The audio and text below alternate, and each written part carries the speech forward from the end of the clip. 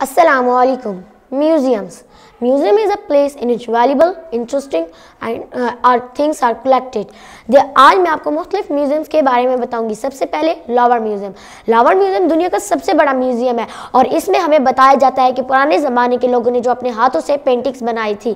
Now British museum British museum भी बहुत famous museum है और इसके सिक्स पार्ट्स होते हैं। पहला पार्ट इसका क्वाइन दूसरा पार्ट वेपन्स तीसरा पार्ट पेंटिंग्स चौथा पार्ट डायमंड्स रूबीज पांचवा part ornaments and six part statues of Quaid Azam E T C now national museum national museum Karachi museum is the national museum of Pakistan it is the biggest museum of Pakistan it is also very famous museum, lahore museum.